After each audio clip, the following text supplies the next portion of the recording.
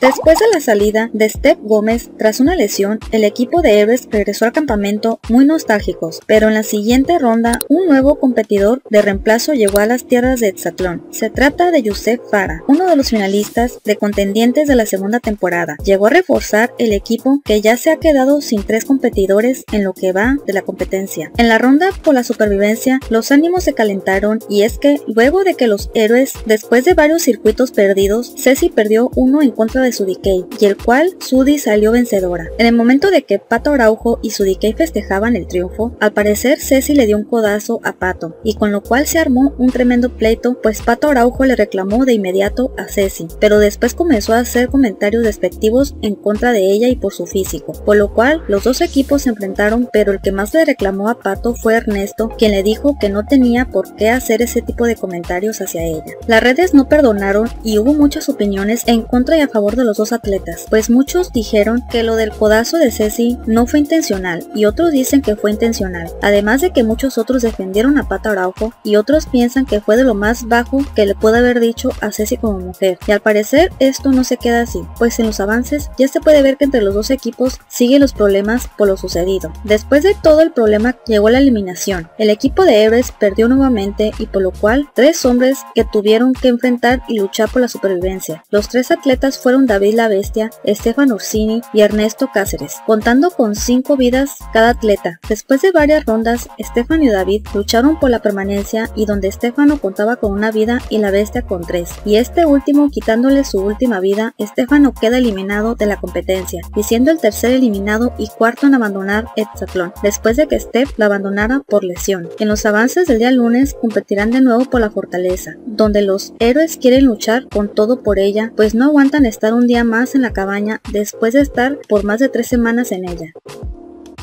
No olvides dejar tu comentario, darle like y suscribirte. Nos vemos en la próxima.